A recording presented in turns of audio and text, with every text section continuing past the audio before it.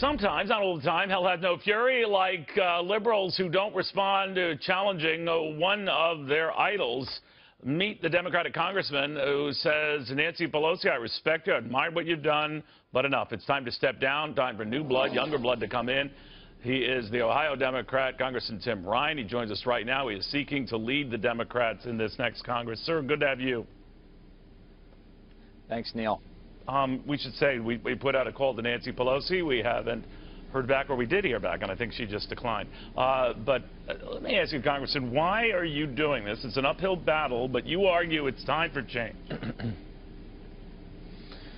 Well, there was an earthquake that went through the Midwest uh, last Tuesday, and white working class, black working class, brown working class uh, folks in my district uh, rejected the, the National Democratic Party because I think we failed to talk about economic opportunity for them and we need to move in a direction where we can connect with those workers and say that we're going to provide opportunity for them, an opportunity for increased wages, a secure pension, and a way to move forward. And we failed to do that. And I think, you know, moving forward, we have to look in a new direction to someone who can connect uh, to those working class, blue collar voters all over the country and pull them back in our fold so that we can win the majority back and, and represent our people.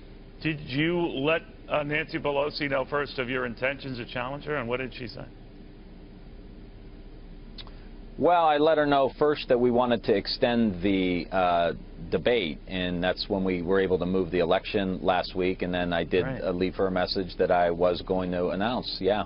Uh, the fact that you were able to move that election is, in and of itself, a, a big development because those things sometimes are set in stone, and she sets it. Now, she's very confident in a letter to colleagues to say she has the votes, and she's a pretty good counter. Mm-hmm. Uh, what do you think? Well, she is. I mean, she's a very, very uh, skilled uh, politician, and I have a great deal of respect for her, and I love her, and and uh, I think she's uh, terrific. But I think it is time for a change, and people in our caucus know it's time for a change. I mean, here's the question I'm asking them, Neil. So how many seats do we have to lose before we have to make a change? Because we've lost 68 since 2010. We're at the smallest number for our caucus since 1929. So what's the number? Is it we got to lose 70 seats, 80 seats, 90 seats? Like, what's the number where we're going to recognize that we are now not a national political party? And we've got to make some changes, and we've got to make them now because if you look at the political landscape, when the Republicans are in complete control of the government, uh, the opposite party, now the Democrats, have an opportunity uh, to make some gains. But if we put you know, the same uh, leadership team out there to make the, the argument, I don't think anyone is going to come our way. And I think it's a really a missed opportunity, and it's going to damage our party and our, our ability to rebuild. And that's just how I feel. I'm not happy about that I feel that way. I take no joy in having to do this, but this needs to be done for the future of our party. Now, she's 76 years old. Her number two, Steny Hoyer, is 77. The, the, average age of the Republican leadership is like 49 or 50 years old. Um, so, oddly enough, the party of, of, of, old people, which is generally thought to be Republicans, this has always been an unfair rap, is the case with the House leadership. But yet, that, that, that seems to stick for her and stick together for her. What is your fear as she gets to be the Democratic leader again? What do you fear happening? Well, let me just say that uh, Nancy Pelosi has more energy and vigor than probably half of our caucus put together. She's uh, an amazing woman, and Steny Hoyer uh, the same. He's got so you're not a making ton an of energy. reference. You're um, making just a let's shake things up reference. Well, we've got to look look at a little bit in the past. Since 2010, we've lost 68 seats. Uh, we got killed in 2010. We a few gains in 12, killed in 14. This gained six seats this last time in an overall tidal wave that I think we all bear some responsibility for.